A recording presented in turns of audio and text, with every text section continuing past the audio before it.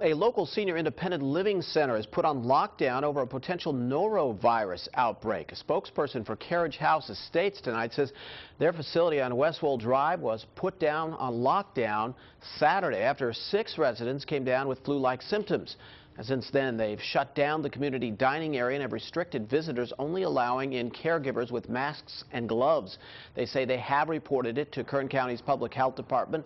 Officials there say they are still trying to confirm exactly what the illness is. Carriage House says the facility will remain on quarantine for now to keep it from spreading.